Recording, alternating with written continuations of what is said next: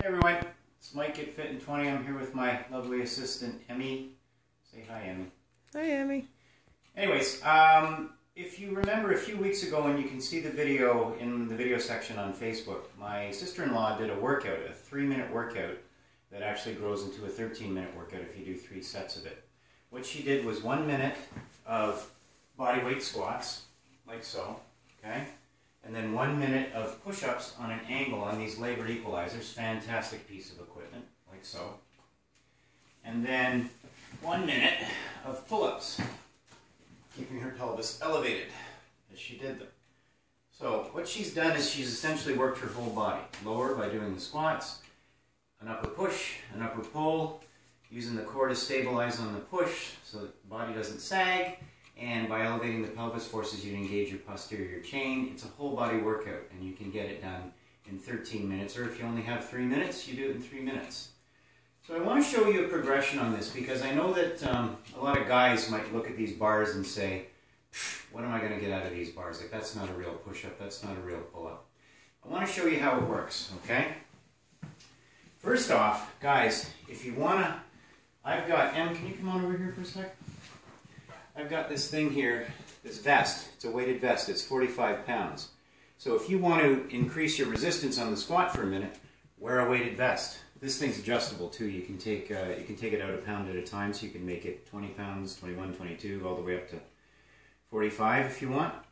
So that's how you can change the resistance on your squats. But on these exercises, all you have to do, I mean, you don't even need the bars for a regular push-up, right? I want to show you the proper form for a regular push-up. Hands are not out here. This is not a push-up, okay? Your hands are under your chest. It's like a bench press. Your arms are out wide, heads up, body's up. You come down and up. Down till your arms break parallel and up. Down and up. Do those for a minute. See if you can. Okay, my client who's 60 plus, Steve Dillabo, he can do those for a minute. So guys, that's a challenge for you. Okay? Now, if you want to make them somewhat more interesting, what you do is you take a ball, a stability ball, and you can do push-ups. Now you've got to use your core to stabilize yourself. I'm moving the ball on purpose to show you that I have to use my obliques, quadratus lumborum, and a bunch of other muscles to keep myself stable. So when I'm doing push-ups like this, it's more challenging. And I can lift one leg and do push-ups. I can move to the other leg and do push-ups. It gets more challenging, right? If I want to make it harder, guys, weight vest. Put the weight vest on. Same thing with the pull-ups. So for beginners who don't have a lot of upper body strength, especially pulling strength, you want to keep the lever as short as possible, which means keep your back on the ground. Okay, bring your feet in nice and close, keep them wide. And all you do from here is pull up like this. Keep your pelvis down until you can get a significant number of these. And then you can do what Ola, my sister-in-law, was doing, which is elevate the pelvis. From there, it gets harder when you do this. Extend your legs, because again, what I'm doing is I'm lengthening the lever. And now Emmy's going to pass me the ball to make it even harder. I'm now engaging more of the posterior chain think the rear side of my core as I do pull-ups like so. And who's seen the movie Thor? Whenever I see a guy in a movie who's big and muscular, I always ask myself the question, how do you get that way? So I go to YouTube usually and I search him. And so I looked up Chris Hemsworth and the workouts that he did for this movie Thor, right? And I saw him using these Lebert equalizers. Crazy guy was doing this, tons of them. So, and this is the final progression for a full body weight pull up on these. What you do is you invert yourself and you pull up. Okay, so it takes some balance, but so you see, you can go from a short lever to a really long lever in absolutely no time. So, the workout would be a minute of squats, a minute of push-ups, and a minute of pull-ups, and you vary it based on your individual capability. Now, I want to show you something else, okay?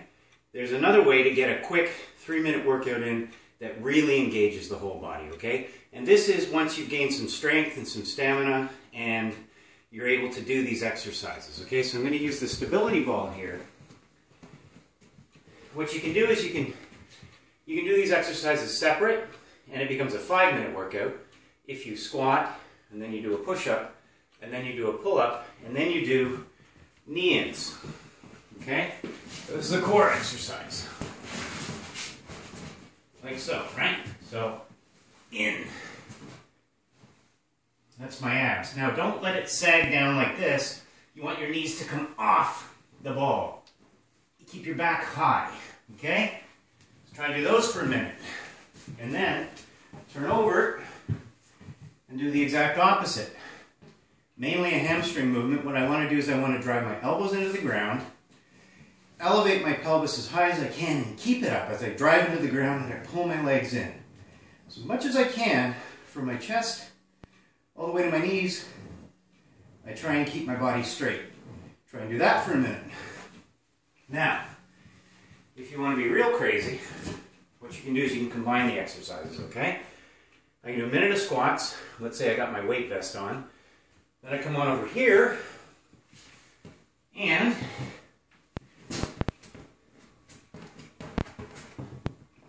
I do a push up, knee in, push up, knee in, push up, knee in. Try that for a minute, okay? You've just taken two exercises, concatenated it into one. Okay, and then the same thing here. So once you got some strength,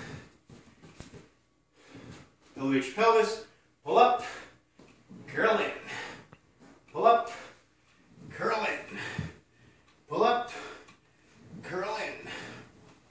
So, minute of squats, minute of the push up with the knee in, minute of the pull ups with the leg curl, three sets, take a two minute rest in between. It's a 13 minute workout, but it is a kick butt workout. Thanks all. We'll see you again soon.